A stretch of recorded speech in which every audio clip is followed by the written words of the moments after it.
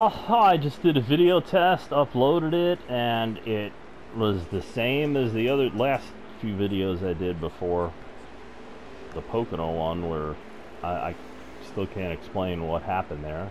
Nothing changed.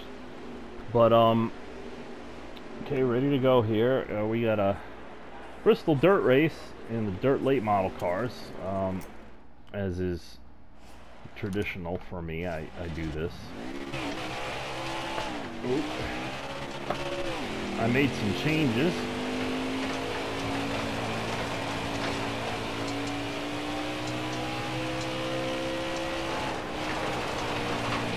Staying in that light colored groove there.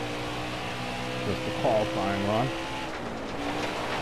I think I'll get about a 16 4.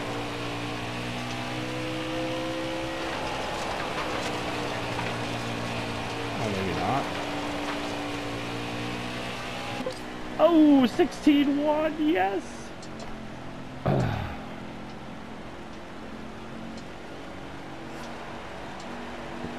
I hit a 127 in practice. Um, wow.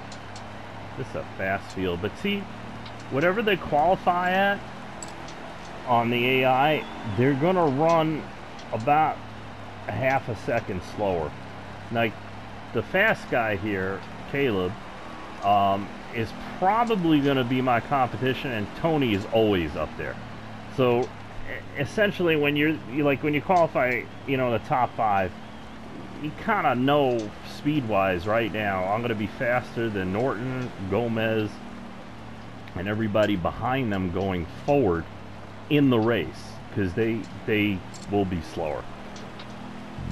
Uh, Caleb and Stewart will will be a little little tougher. But you can follow that. Okay, here we go. I don't need the preamble preamble.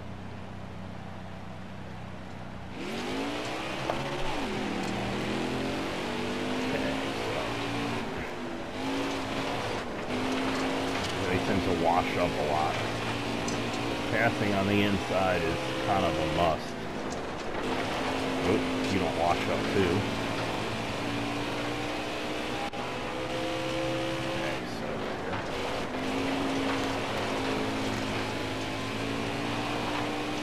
It always takes me a few laps to get up to speed. I'm not a sprint guy, I'm a, you know, a long run guy. How many laps I got? 23, yeah, 25 laps.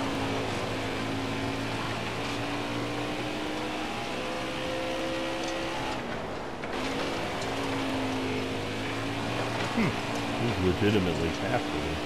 And that's fine.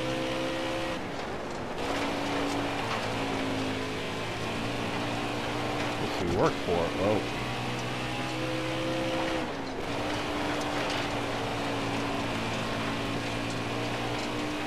Record here is at 16-0. And I have one here. A lot. So, see how it plays out. And yes, you dirt racers, I have it on times four. There's a zero there. as I was talking about to myself, the only thing I don't like about this setup is the left front seems weak. It's the one that's the least, that's doing the least amount of work. And I feel that it makes my nose just a little bit too unstable in situations like this, and I lose speed. So I can't, I can't really get by the guy like I would want to. Um, yeah, obviously I'm doing it, but it's not, it's not easy kind of like I think it should be. It, I gotta drive it a lot harder than I really want to. Gotta get past these guys to gap them. And now it'll be all about maintaining the lead. Oops.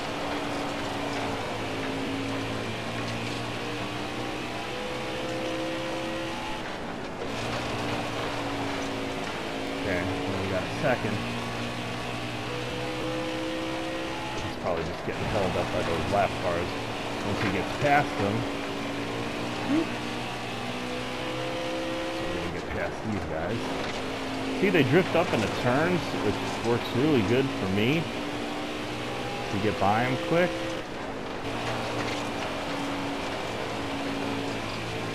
Oh, a little too much. Ooh, hit me. See, he's coming on. On a roll.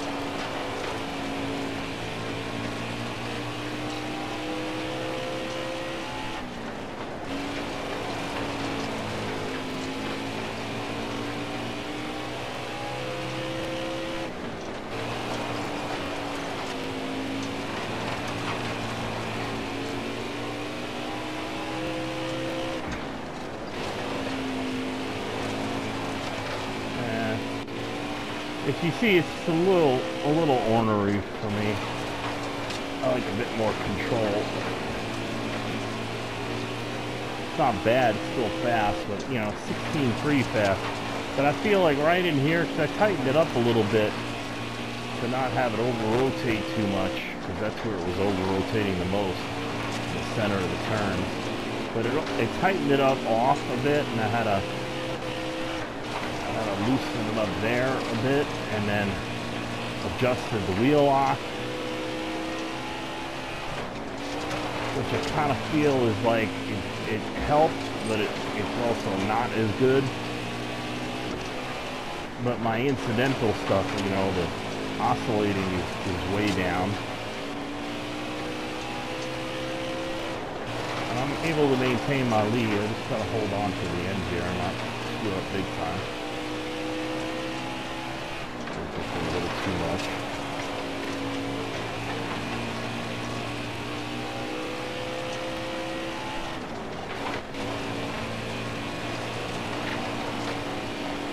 As I was saying in that video, when you adjust the wedge um, at a track like this, you know, depending on your setup, sometimes you're adjusting the wedge into the turn, middle of the turn, and off the turn if it's just the middle of the turn that you're concerned with, once you fix that, you might find that you're too tight in or too tight off, and then you got to go to the the other adjustments were not fitting. I made one adjustment, uh, half a pound up on the uh, left front, but it's working good. See, it's still 99, so I could probably up it again, but it was so hard to pass them, and there's only six laps left. I'm not going to do that when I get back in, the, you know, next time I race here, 14 and a half psi will be uh, staring me in the face. Put another half in. See what it does. Remember, second gear is high gear here. Okay. Do it all over again. Maintain lead with no lap cars. Can he catch me? Can I hold on? Two laps to go right on me. Pulled out a tenth. Two tenths. Can we do it again? I'm like almost not off the gas at all. And there's my 15.9. That's a record. Whoop, almost wrecked. Because I was looking at the thing. How purty it was.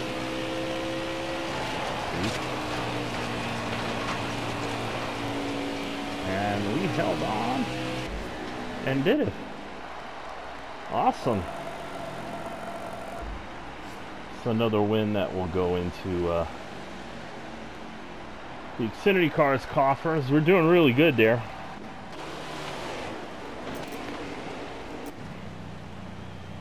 Uh, let's see how this looked from the uh, from the broadcast cams.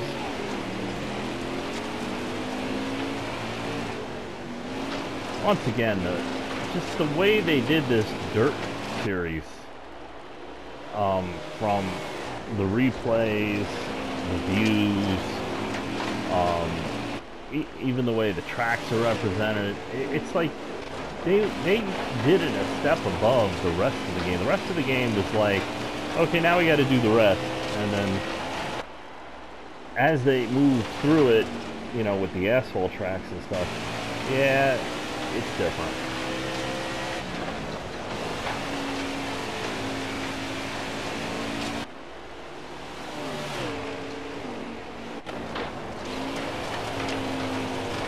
You know, not that this is tremendous quality, but when you race this series compared to the uh, the NASCAR series on the game, both E4 and 5, there's an attention to detail in in this graphically that is a little off and kind of noticeable at most of the uh, most of the asphalt tracks.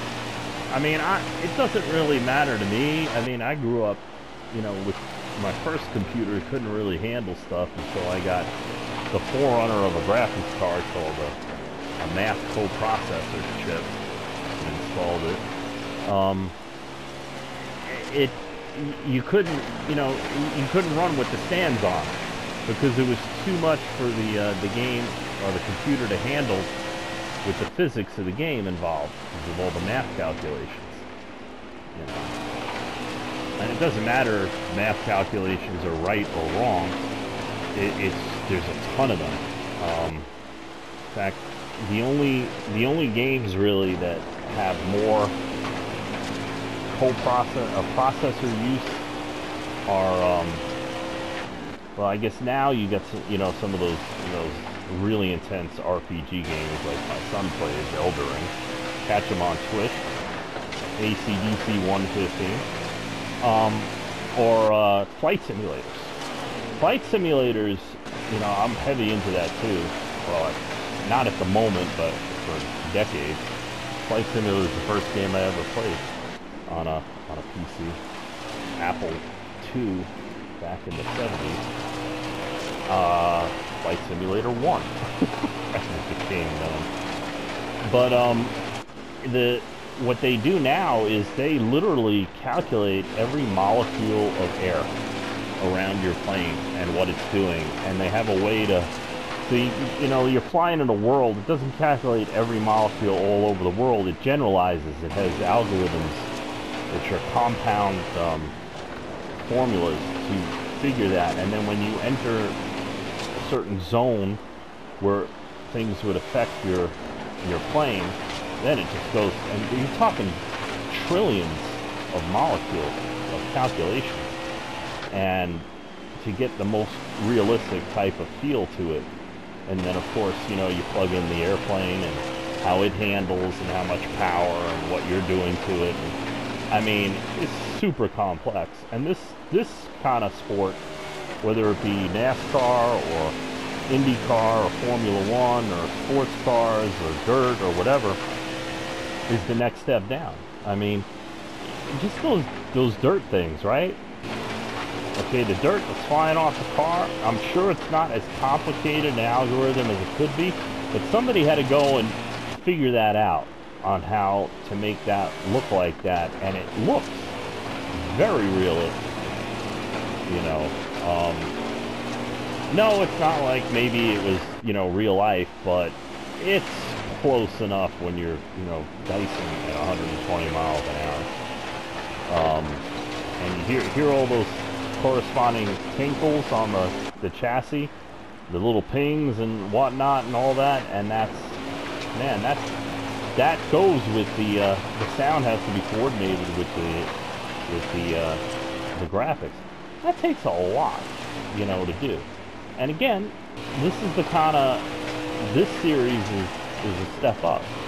Um, if they follow through on the quality, um, I'm sure there wouldn't wouldn't and you know Heat 4 was a better game than Heat 3, and, and Heat 3 was a better game than 2 and, and Evolution.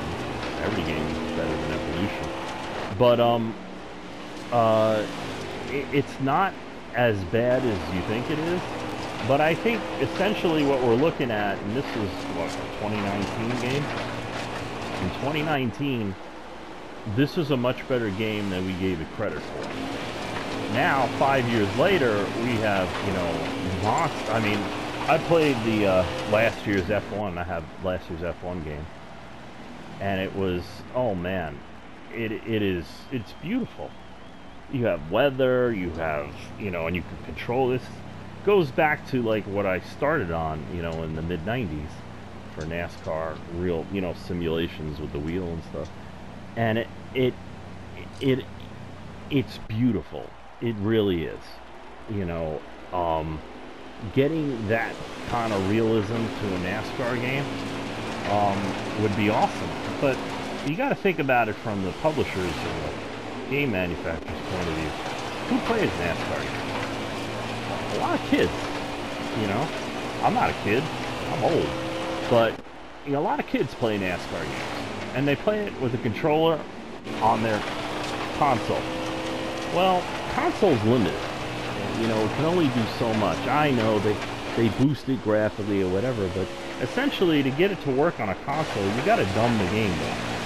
And this is this is a console game, and they you kind of have to make choices, right? So if you're gonna increase the gameplay, you gotta and decrease the graphics. You gotta know your audience. And the most of the people that play these games on console play multiplayer, quick, you know, not quick races, but multiplayer online. Um, not many people play the career mode. They play it a, a little bit, you know, but they basically get on with their buddies. We're killing it, you know, uh, in dirt here. Oop. And you know, it's, you know, four lap races, eight lap races, 20 lap races. Uh, most of them are single digits from what I understand. And there's about 300,000 people out of like the 2 million that own these games that really, you know, are dedicated to getting on like every day, every other day. And that's what they do. So tracks don't need to look so good if you're only on it for four laps at a time. I mean, you might be on it for six hours, you know, going, you know, running four lap races or 10 lap races or whatever. But that's, that's the majority of the people, you know, and then you have probably, I would say, 8 to 10% um, from the statistics I've seen in the past that are like, kind of like me. It's like, okay, that's great.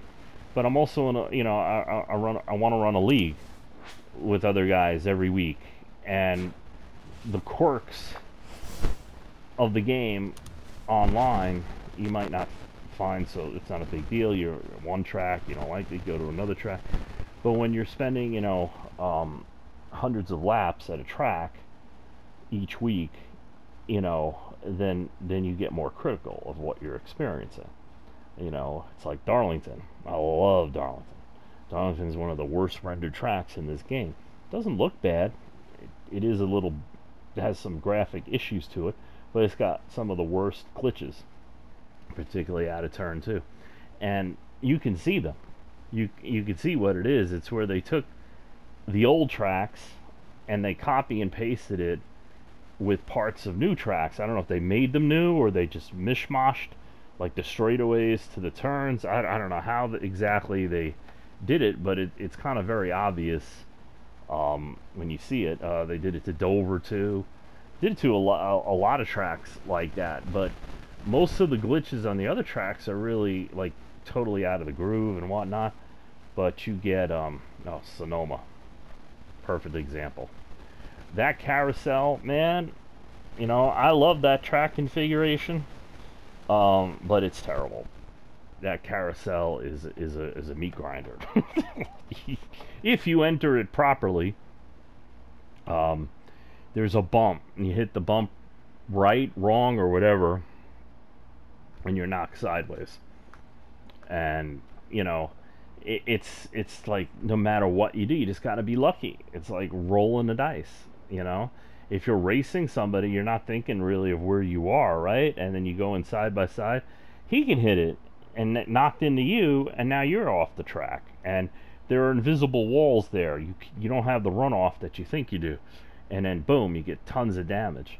Uh, I found another one at the entry to the carousel area, uh, down the hill there when you make the sharp right-hander, um, before the carousel, and the uh, curbing on the right-hand side. If you cut that too much, there's like an invisible wall there and it just destroys three sides of your car and you end up high center.